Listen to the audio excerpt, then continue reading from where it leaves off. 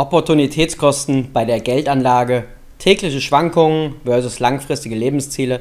Mein Name ist Christoph Leichtweiß und ich darf Sie zu einer vereinfachten kleinen Finanzplanung begrüßen. Wir blicken zunächst auf einen Anleger, der sich vorstellt, in 15 Jahren in Ruhestand zu gehen, also im Jahr 2035. Ich habe Ihnen das hier entsprechend mal dargestellt. Er möchte ein Nettoeinkommen in Höhe von 2000 Euro haben. Um das Ganze nicht zu verkomplizieren, habe ich die Inflation außen vor gelassen. Wie gesagt, es soll nur ein Berechnungsschemata darstellen. Dann bekommt er entsprechend seine Zahlungen hier geleistet. Es fallen etwas Steuern an, die gesetzliche Krankenversicherung. Ihm verbleiben Nettoeinnahmen von 1500 Euro. Das heißt, zu seinem Ziel von 2000 Euro fehlen 500 Euro pro Monat.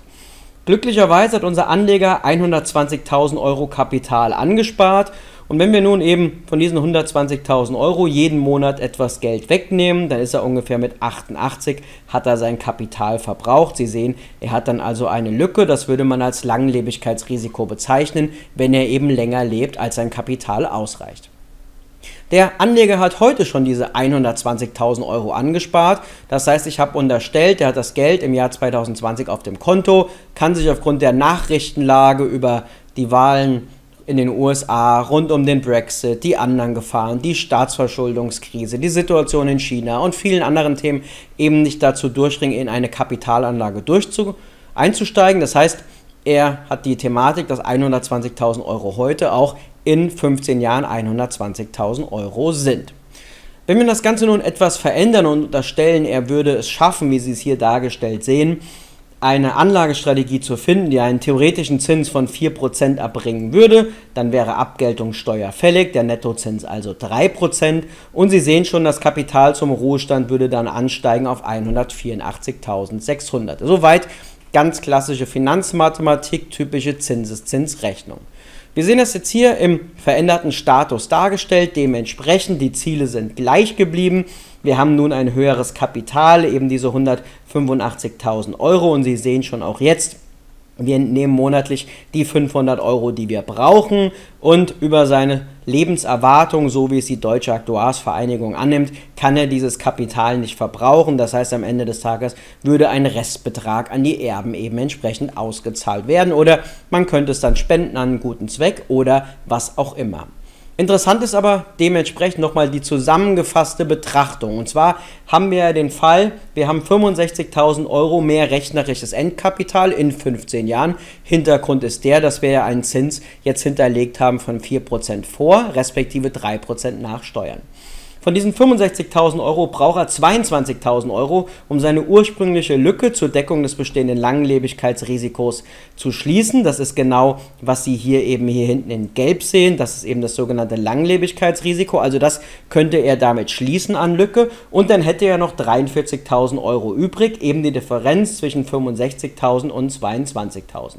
Also 43.000 Euro mehr Kapital und wiederum fiktiv würde man unterstellen, dass unser Rudi Ruhestand, so habe ich ihn hier genannt, 20.000 Euro pro Jahr bräuchte, was er vorher in den Ruhestand geht. Also er beendet seine Arbeit, bekommt keine Rente, nutzt bestehendes Kapital, um die Einkommensdifferenz auszugleichen. Dann könnte er seine Arbeit um zwei Jahre früher niederlegen, könnte den Vorruhestand genießen, bevor dann die gesetzliche Rente beginnt.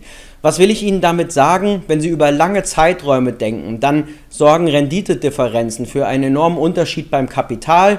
Dieses Kapital sorgt eben dafür, dass verschiedene Optionen bestehen und wie in allen Sachverhalten des Lebens, ob es um Ernährung, Sport, Fortbildung und ähnliches geht, ist es immer ein Trade-off zwischen Schmerz zum Zeitpunkt und Vergütung über den Zeitraum. Und das an der Kapitalmarktfront natürlich umso wichtiger, wo wir ein Szenario haben, wo die Zinsen wahrscheinlich auf absehbare Zeit bei Null bleiben, respektive nach Inflation sogar im negativen Bereich tendieren.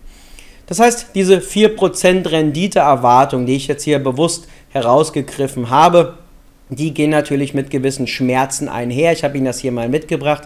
Für eine solche Anlagestrategie, die jetzt hier beispielsweise besteht, aus 70% Aktien, das Hälfte, die Hälfte investiert in europäischen Aktien, die Hälfte in globalen Aktien. Wir haben 10% Gold, 20% haben wir in Geldmarkt investiert. Dann sehen Sie schon hier die Renditeerwartung für verschiedene Kalenderjahre es gibt eigentlich keinen wirklichen Durchschnitt, sondern es ist mal eine starke Bewegung nach unten, dann haben sie im Endeffekt auch mal eine starke Bewegung äh, nach oben, dann mal eine starke Bewegung nach unten. Und von daher, das Erwartungsmanagement ist eben sehr wichtig, der hier nochmal anders dargestellt.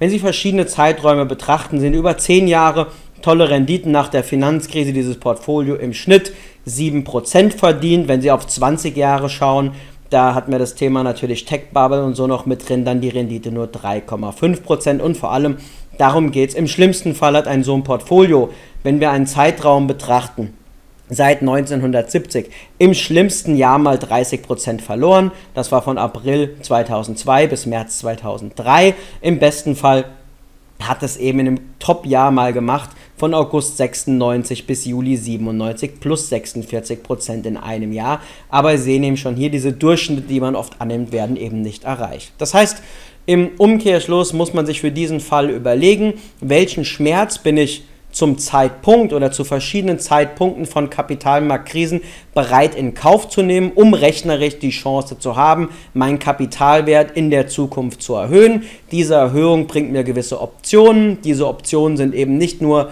theoretisches Kapital, sondern sie ermöglichen es mir, meine Lebensplanung entsprechend anzupassen, so wie ich das in diesem Beispiel gezeigt habe. In diesem Sinne darf ich Ihnen nur wünschen, dass Sie sich mal mit dem Thema Zinseszins auseinandersetzen, mit dem exponentiellen Wirken, was das auch im Nullzinsumfeld bedeutet und welche Auswirkungen das auf die Anlagestrategie hat, weil vieles, was oft abstrakt klingt mit Opportunitätskosten oder Renditen, die man nicht verdient hat, das ist doch umgerechnet in Euro auch etwas, was Optionen für die Lebensplanung darstellt. Und dann muss jeder für sich entscheiden, will ich länger arbeiten, will ich meinen Ruhestand verschieben, will ich mehr sparen und dementsprechend auf Konsum verzichten, will ich meine Anlagestrategie verändern, bin ich bereit, größere Schwankungsrisiken zu akzeptieren. Da gibt es kein richtig oder falsch.